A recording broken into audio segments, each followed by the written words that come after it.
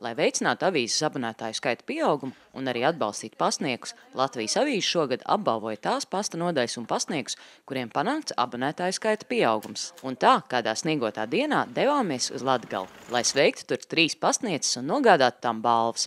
Pirmais pieturas punkts ir Murmastienas pasta nodaļā, kur Latvijas avīzes abonentu skaits palielināts no 1 līdz 8. Pasta nodaļas vadītāja Lelda Avišāna pastā strādājot tikai gadu. Pirms tam ilgāku laiku dzīvojis un strādājis Dānijā. Kā stāsta Lelde, uz Dāniju atpakaļ braukt gan vairs negribot. Es varbūt varētu aizbraukt uz diviem, trīs mēnešiem, bet, nu, lai es paliktu tur aizbraukt, es nevarētu. Jo man ir vienkārši tā, es neesmu no tiem cilvēkiem, kas var aizbraukt un dzīvot nes cik ilgi. Es jau tos gadus jau mocījos. Mm -hmm. Atklāti sakot, jau gaidīju, tik skaitīju dienas, kad man būs atvainājums, kad es braukšu atpakaļ uz mājām. Es saku, ja es varētu visu savu ģimeni pārcelt uz turieni un pusi nu, no tām visām Latvijas lietām, kas ir nepieciešamas. Kas tad... ir tās nepieciešamākās lietas? Es nezinu, nu, tie paši veikali. Tur kā tā pārtika, viss ir normāli sākumā, bet pēc tam ieeja veikalā un vienkārši vairs nav ko reāli nopirkt. Tur nav vairs, tur liekas viss tik pretīgi. Tāpēc, ka nu, viņiem ir savādāk tur.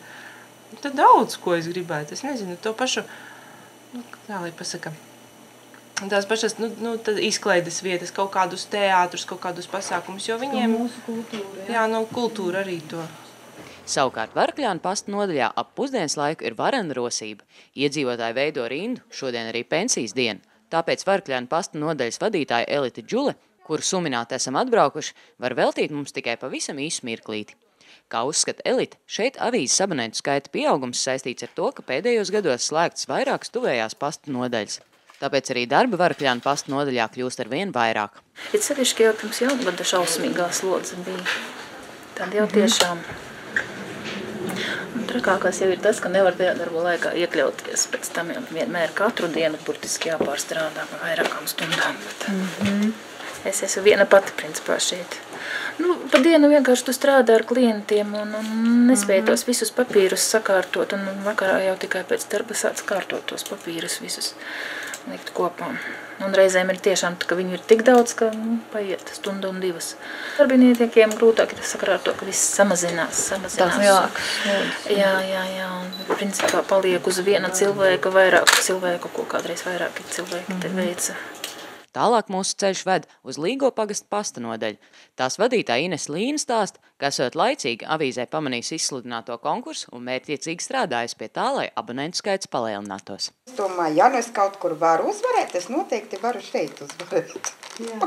Bet nu, arī grūti tas nebija, jo cilvēki ir atsaucīgi, tikai ar viņiem jāparunā. Mm -hmm. Tikai ar viņiem jāparunā. Veicot izskaidrošanas darbiņu, kad nu, tomēr tā kalendāra atsevišķā pērkamā cena ir latu 79. Mm -hmm. Un kad parēķinam it kā to nost, un ja katru dienu varam pa 5 lati 27 lasīt Latvijas avīzi katru mm -hmm. dienu, tas ir ļoti labi, es domāju. Mm -hmm. Un cilvēki to atbalstīja un piekrita.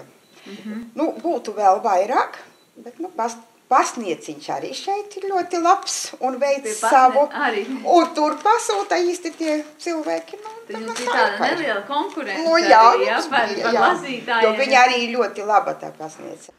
Latvijas avīze vēlreiz pateicis visām čaklajām pasniedzēm par labo darbu un sirsnīgo attieksmi.